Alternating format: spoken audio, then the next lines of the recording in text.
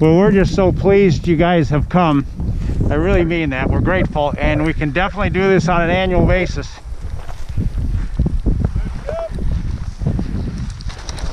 Holy shit.